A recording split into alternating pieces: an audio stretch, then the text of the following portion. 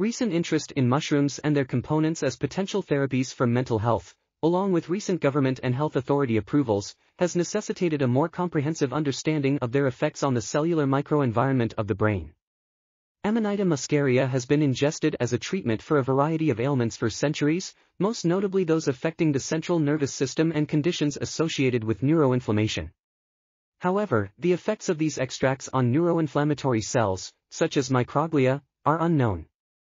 The effect of commercially sourced muscaria extract AME1 on human microglial cell line, HMC3, expression of surface receptors such as CD86, CXCR4, CD45, CD125 and TLR4 was determined by flow cytometry. AME1 upregulated expression of all of these receptors.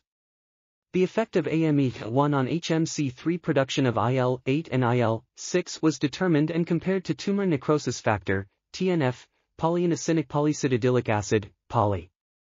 This article was authored by Ashley Wagner, Marcus Pehar, Marcus Pehar, and others. We are RTCL.TV, links in the description below.